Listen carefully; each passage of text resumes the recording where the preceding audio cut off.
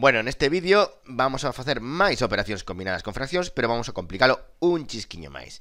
Entón, lembrovos, como sempre, temos que saber que primeiro temos que operar o que está entre parénteses e o que está entre corchetes, de acordo? Segundo, logo temos que ir a buscar aquelas operacións nas que haxa multiplicacións e divisións. Eh? E terceiro, no último lugar, deixamos as operacións nas que haxa sumas e restas. Sabendo iso, pois seguro que non tes problema indo pase niño, de acordo? Así que, bueno, vamos a coller isto aquí.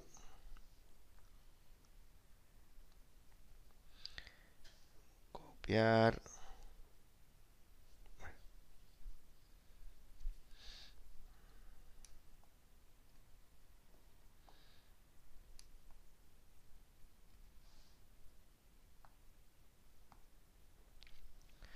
Pois imos alo.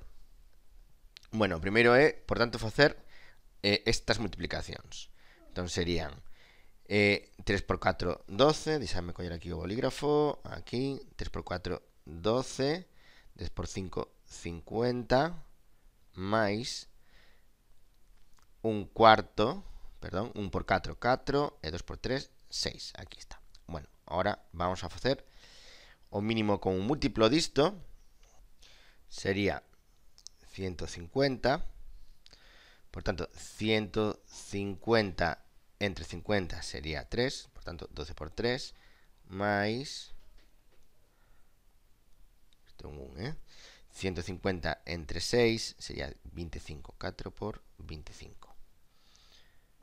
Isto dame un resultado de 36 máis 100. ¿Vale? Por tanto, o resultado final serían 136 dividido entre 150. Isto é divisible entre 2, vale? Arriba e abaixo podemos dividir entre 2 dándonos un resultado de 68 75 avos. Vale? Bueno, vamos co seguinte. Mm, aquí teño que primeiro facer a multiplicación e a división, por tanto vamos alá. 2 sétimos pola inversa da segunda, que serían 3 dividido entre 1, que é o mesmo que decir 3, máis 2 por 3, 6, e 5 por 8, 40. Xa está. Seguimos, e ora 2 por 3, 6, 7 por 1 é 7, máis 40 sextos. O mínimo común múltiplo serían 42, por tanto 42 entre 7, 6, co 6 por 6 máis 40 por 42 entre 6 serían 7, 40 por 7, por 7. Bueno, pues vamos a la.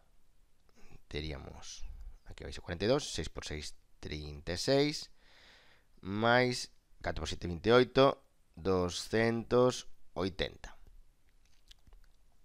Bueno, isto dá un resultado de eh, cen, eh, perdón, 316. 316 dividido entre 42.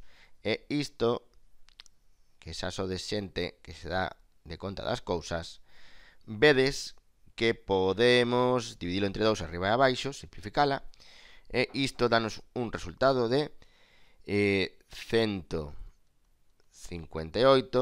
dividido entre 21. Aí está, a fracción simplificada, vale? Veña, imos a por outra.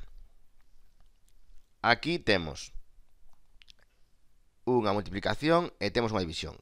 Por tanto, será iso o primeiro que fagamos, de acordo? Veña.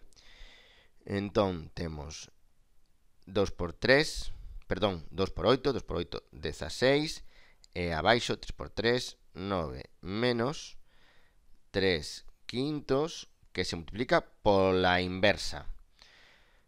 Por tanto, a inversa de 3 cuartos son 4 tercios. Seguimos. 16 novenos menos 3 por 4, 12. eh, 3 por 5, 15. O mínimo común múltiplo de 15 e 9 serían 3 ao cuadrado por 5. Por tanto, 9 eh, por 5, 45. 45. Ahí está. Entón, 45 entre 9 sería 5. Por tanto, 16 por 5. E logo, menos 12, que multiplica 45 entre 15, 3 por 3. Vamos a cambiar esto para aquí, para que, para que no nos moleste. Entón, 16 por 5 serían 80. E menos 12 por 3 serían menos 36 dividido entre 45. Seguimos operando. A ver si nos cabe aquí todo.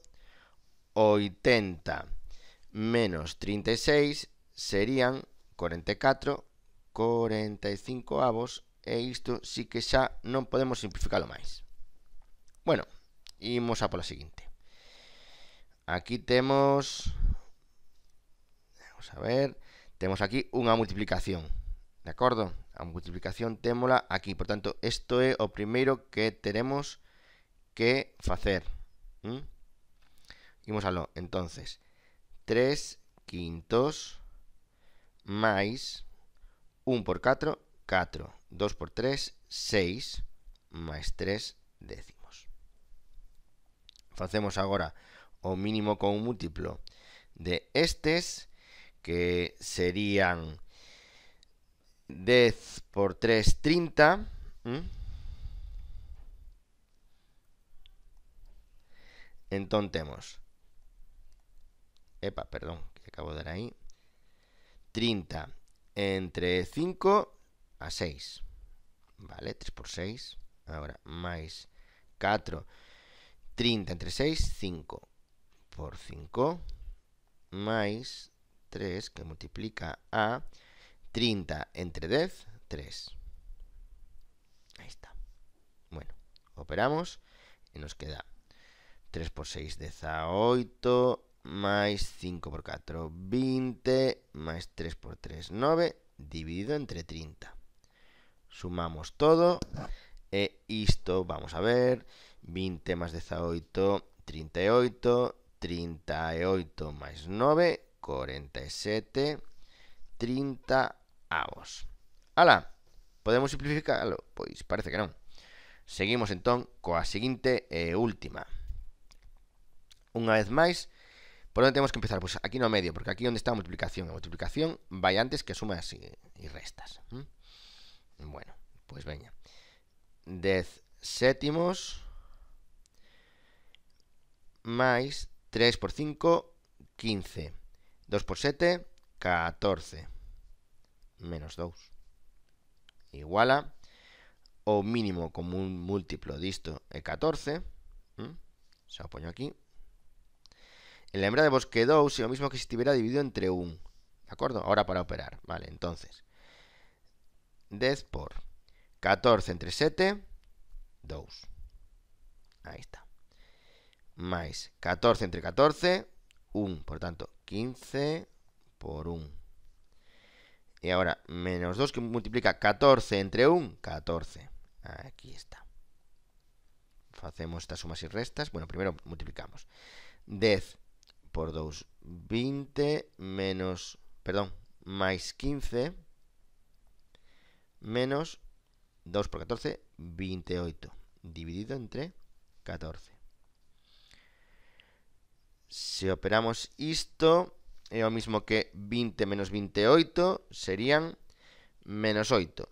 Menos 8 máis 15, menos 8 máis 15 sería 7, non? Veña, 7 dividido entre 14. Vale.